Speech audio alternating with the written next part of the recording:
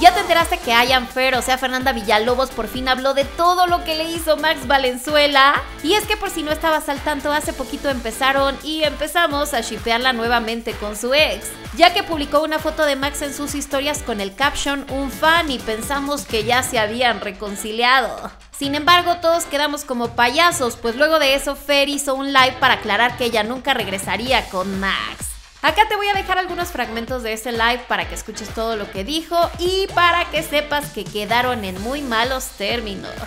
Yo nunca me he juntado con mi ex. Nunca he estado en el mismo lugar que él desde que llegué a Miami.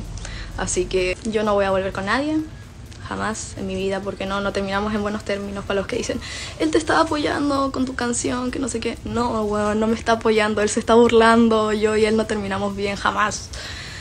O sea, si supieran cómo terminaron las cosas, terminaron súper mal, así que no.